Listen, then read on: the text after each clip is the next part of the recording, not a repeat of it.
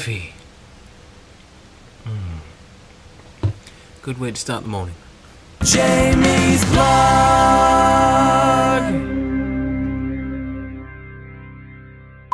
Morning into Airbians. It is a very cold and soon to be a busy day in Oneida, New York, and just waiting. I mean, I got everything set up right now. It's just bored and nothing to do right now. So I thought I'd talk about something in which I know definitely it's like already a day it's been aired, but uh, hopefully people won't get pissed off when I talk about it, and that is yesterday's final episode of Once Upon a Time. Technically, it is yesterday's final episode of Once Upon a Time. As said, that they did renew their show for se- season seven, but a good chunk of the cast will not be coming back for that season, and it's said that it's going to be talking about Regina, Hook, and Gold slash Rumpelstiltskin. I wanted to talk about yesterday's episode, so with this one, I'm popping this up right now, dearies, that it is spoilers ahead.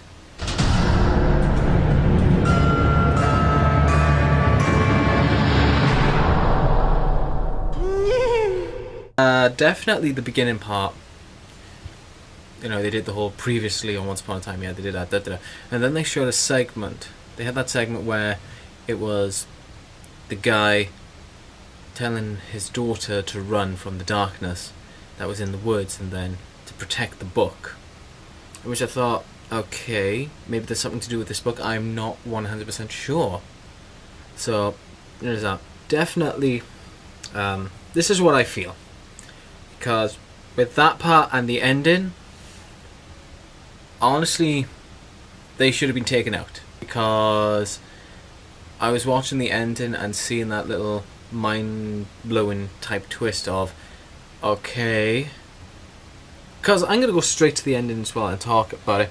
But the ending to Once Upon a Time for this season uh, definitely had me watch that and then quote two of my favourite odd characters from Doctor Who and saying, well, here we go again. I shit you not, because it's basically the ending for Once Upon a Time for this season is basically doing a repeat of how it began in season one, episode one, with the reveal of many years later, with Henry being an adult. This girl comes to the door and it's, Hi, I'm your daughter. Come, we gotta save your family. And I'm like, This is basically a repeat. And it shouldn't.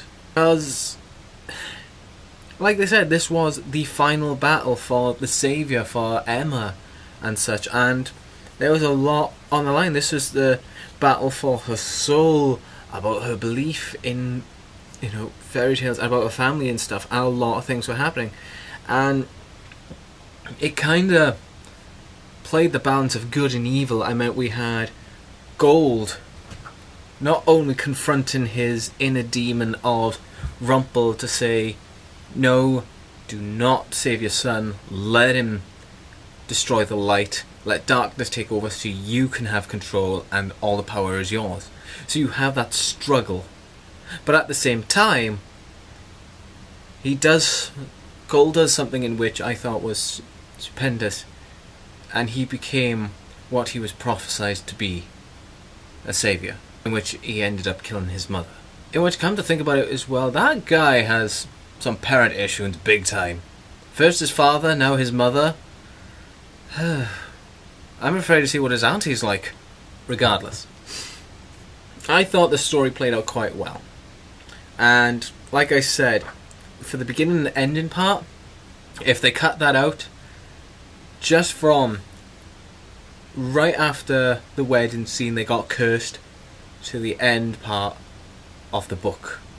Because hell, even at the end of that little story before we had the many years later, you could see when they pull out from the book, in the corner it said, they all lived happily ever after. That, I'm sorry guys, but that is the best way you could have ended that series altogether. It, it makes me wonder now with season 7, how are they going to keep going? You know, I will go in with an open mind to see what's going on, but honestly, it's like kind of pushing it a little bit, you know. And if they just end it on that note with just the book, they all lived happily ever, and then the book closes, that's it. That's the best way you could have ended the story. Everyone had, in their own little way, their happily ever after. Regina's uh, old evil half, she found her true happy ending. Zelena, okay, fair enough, she sacrificed her powers. You know, she found her happy ending still. She was alive, she had Robin, she had her child, her girl. Everyone had their own happy ending. Emma had her happy ending, finding true love. And definitely, again, going back to Rumpel, aka Gold, there was a happy ending there because not only did he still have his wife, but also as well, he has his child who is basically back to normal in a way because he's a fucking kid. But also as well, he's you see him in that last scene sitting with the rest of the team that is considered as heroes. And finally he is seen to them as the hero.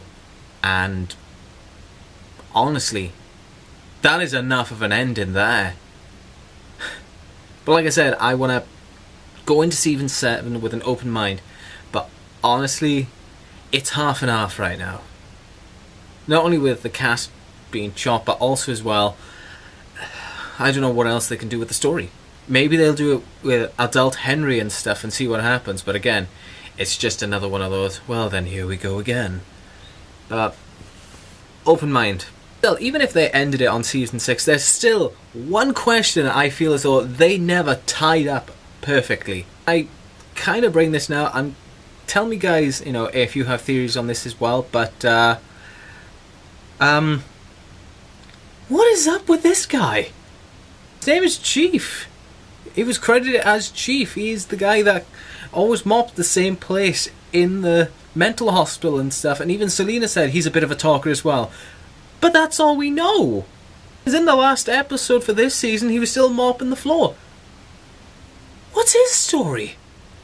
I feel that is like one thing they should have tied up. It's like the pineapple of How I Met Your Mother. They didn't actually say how the pineapple came in until they released a deleted scene to explain how the hell they got the pineapple. And I feel as though, okay, that seemed a little bit rushed, but still, they answered. Give us a story for this guy. Come on. yes, that's my rant. But in all, I felt like season six, even towards the end, I felt as though, yeah, they're kind of showing that they should end it. Even with the previous episode where it was a musical. Fantastic, but when you get to a musical episode, I feel as though it's coming to its end. I strongly feel like it was coming to its end. And once again, season 7, I'm going in with an open mind. I'm going to see what this is all about. But I'm not going to get all high hopes on it. I'll give it some belief, but it's it's a doddle. It's a doddle, dearies. But I wish him all the best. So, um, I, I crashed really hard when I got in. I had a bit of food I got in when I just crashed in bed. I was down and out for the count. Fun, right? Okay, so a little bit rested up, but again, literally, I just got home, crashed like hard. So that was fun. Oh, as well as doing some little outside work. I'm gonna call it night. It is getting quite late. I'm gonna see if I can get some sleep and hopefully not be up at 3 a.m. I'll wake up at 3 a.m. or 4 a.m. and keep up all day and just be all. I need to get my body sorted. So. But anyway, if you've enjoyed today's video and the discussion we had today, don't forget to like and subscribe. And we shall see you tomorrow for a brand spanking new day and hopefully be better than the rest. So until then, take it easy guys.